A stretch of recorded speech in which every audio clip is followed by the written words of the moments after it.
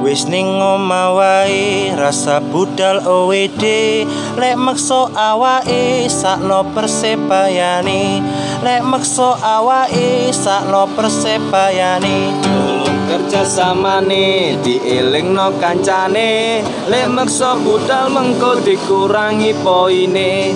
Lek maksa budal mengko dikurangi poine. Asik! Dengan nobar wae karo kanca-kancane digawe maskere ben ra kene satpol PP digawe maskere ben ra kene satpol PP wayahe nyambut gawe mending live streaming wae. Isi paketane ojo njaluk hotspot ae. Isi paketane ojo njaluk hotspot ae. Salam satu nyali. Wahane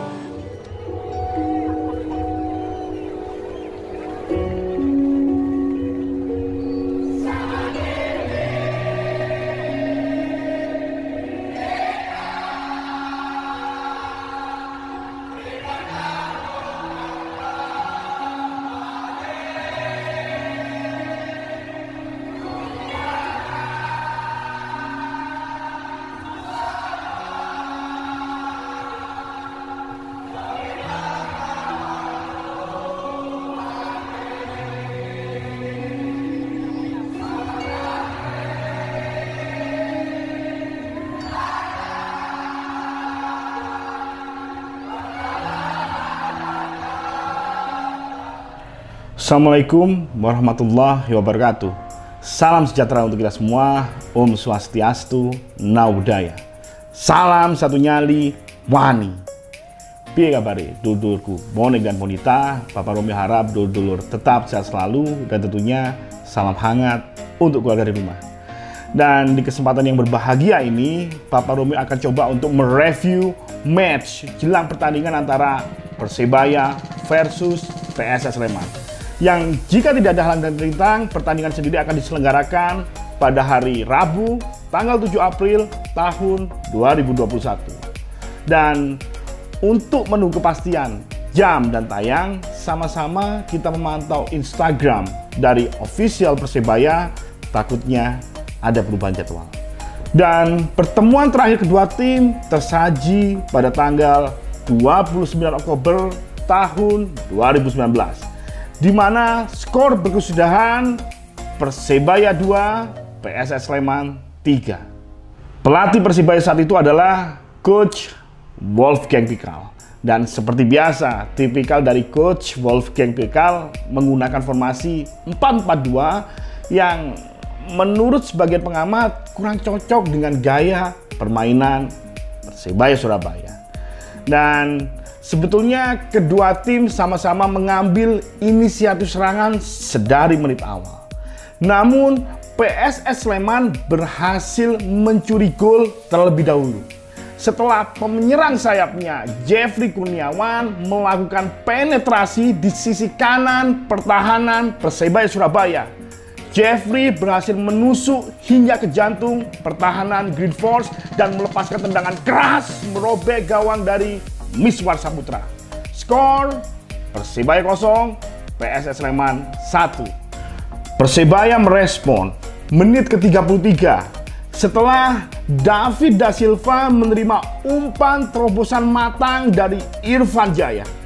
David Da Silva melakukan penetrasi melewati satu pertahanan dari PSS Sleman dan David melepaskan tendangan keras ke pojok kiri gawang dari PSS Sleman. Skor Persebaya 1, PSS Sleman 1. 7 menit berselang, PSS Sleman kembali menggandakan keunggulan menjadi 2-1.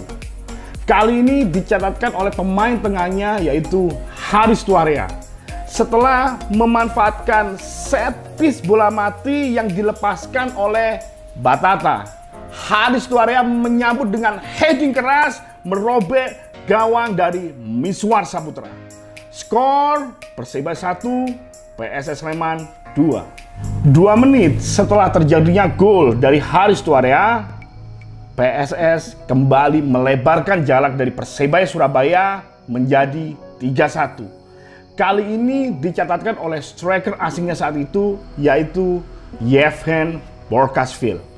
Memanfaatkan serangan balik cepat yang dibangun oleh PSS Sleman. Yevhen melakukan penetrasi dari sisi kanan pertahanan dari Persebaya Surabaya dan melewati satu pemain belakang yaitu Syaifuddin sebelum melepaskan tendangan keras mendatar ke sudut kanan gawang dari Persebaya Surabaya. Skor Persebaya 1, PSS Sleman 3. Dan skor 1-3 tersebut bertahan hingga berakhirnya babak pertama. Di babak kedua, Persebaya coba untuk meningkatkan intensitas serangan ke pertahanan PSS Sleman. Dan hal tersebut berbuah ketika Randy Irwan di menit ke-72 dijatuhkan oleh pemain bertahan PSS Sleman di kotak 16. Wasit menunjuk titik putih penalti dan eksekutor saat itu adalah Diogo Campos Gomez. Dio Campos melepaskan tendangan keras ke tengah gawang dari PSS Sleman dan membuat skor menjadi Persebaya 2, PSS Sleman 3. Dan skor 2-3 tersebut bertahan hingga berakhirnya laga. Dan di klasmen grup C saat ini Persebaya menempati peringkat utama disusul oleh Madura United dan PSS Sleman di peringkat 2 dan 3 dengan tolehan 4 poin.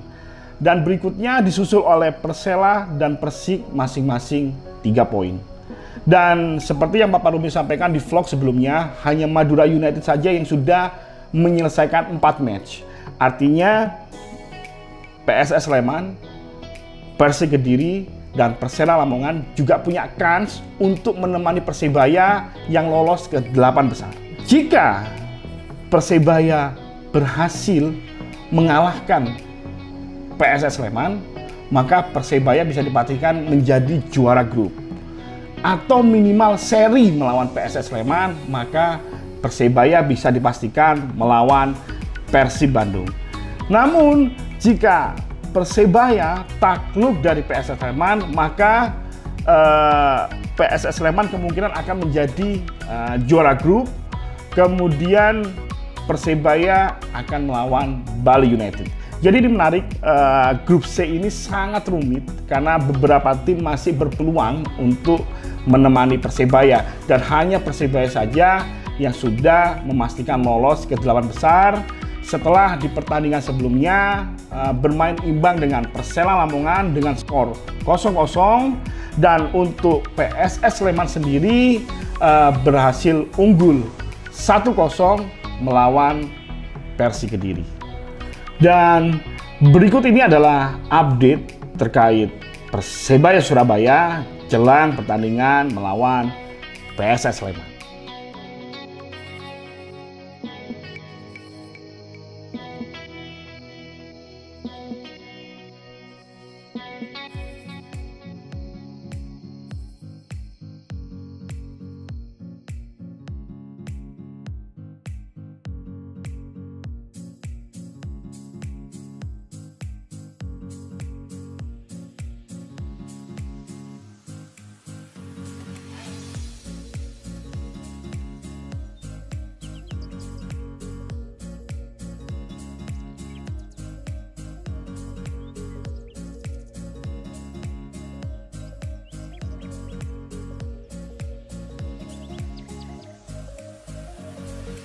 Menurut Dodolor, kira-kira siapa pemain dari Persebaya Surabaya yang bisa menjadi kunci ketika menghadapi PSS Sleman hari Rabu nanti?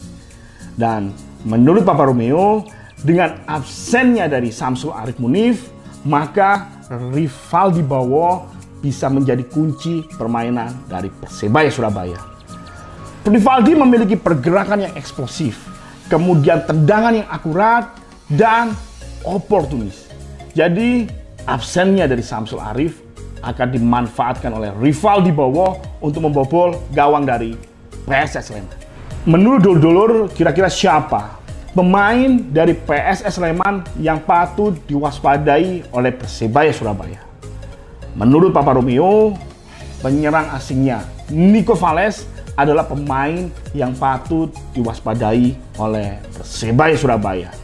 Satu gol ke gawang Persik Kediri membuktikan bahwa Nico Vales adalah pemain yang patut diwaspadai oleh pemain bertahan Persebaya Surabaya. Dan di akhir segmen ini, uh, Papa Ruby coba untuk uh, menganalisa bagaimana kekuatan dan kekurangan dari kedua tim, ya baik itu PSS Sleman dan Persebaya Surabaya. Dan uh, untuk PSS Sleman sendiri sebetulnya uh, kekuatannya adalah dihuni oleh pemain-pemain yang memang sudah matang, ya pemain-pemain bintang. Artinya di sana uh, ada Irfan Jaya, Miswar Saputra, Kim Jeffrey Kurniawan, Irfan Bahdim, Fabiono Beltram dan masih banyak lagi ya. Dan ada juga tercatat uh, mantan pemain dari Persebaya yang juga ada di sana. Ada Misbahus Solihin, Fendri Imbiri, Arthur Irawan. Artinya uh, sangat mengenal dengan culture dari Persebaya Surabaya. Namun kelemahan dari PSS yang bisa dimanfaatkan oleh Persebaya adalah uh, kurang maksimalnya PSS uh, eh, di tiga pertandingan yang sudah dijalani dan belum padunya uh, Los Galacticos dari Jawa Tengah ini uh, meramu uh, bagaimana komposisi terbaiknya. Nah ini yang yang bisa dimanfaatkan oleh Persebaya Surabaya dan saya yakin betul bagaimana uh, visi dari Coach Aji Santoso yang sangat mengenal pemain-pemainnya, sangat tahu uh, kebutuhan Persebaya siapa pemain yang akan dibeli. Dan kita bisa melihat di tiga pertandingan yang sudah dijalani oleh Persebaya Surabaya, Persebaya belum terkalahkan di tiga pertandingan. Namun memang uh, di pertandingan melawan Persela kemarin itu itu terbukti uh, bahwa uh, Randy dan Ricky uh, masih belum terlalu terlihat uh, mengubah uh, permainan Persebaya yang di mana di pertandingan melawan Persik dan Madura United kedua pemain ini benar-benar mampu merubah situasi dan kelihatannya hal tersebut yang sudah uh, difikirkan oleh Persela untuk mematikan pergerakan dari Ricky dan Randy Irwan. Nah, ketika konsep tersebut dipakai untuk bermain melawan PSS Sleman, saya pikir PSS tahu betul Ricky dan Randy memang harus dimatikan. Nah, opsinya seperti apa coach? Apakah merubah formasinya? Apakah uh, coach Aji punya pemain-pemain yang bisa apabila kedua pemain tersebut deadlock siapa? Nah, saya pikir coach Aji yang memiliki kapasitas, coach Aji yang benar-benar tahu bagaimana tim Persebaya Surabaya dan in Aji we trust. Monggo dulur uh, silahkan tulis di kolom komentar kira-kira siapa pemain kunci dari Persebaya Surabaya dan kira-kira siapa pemain dari PSS Sleman yang patut diwaspadai oleh Persebaya Surabaya dan bagaimana kira-kira Persebaya akan bermain menghadapi PSS Sleman. Monggo silahkan tulis di kolom komentar dan kita akan berdiskusi di sana. Mungkin sekian vlog kali ini dari Bapak Romeo Apabila dulur-dulur suka dengan konten ini, menilai bahwa konten ini bermanfaat buat dulur-dulur, ojo segen-segen lur. Di subscribe, like, komen, dan share. Semua itu gratis dulur, tidak ada yang bayar, dan bunyikan loncengnya.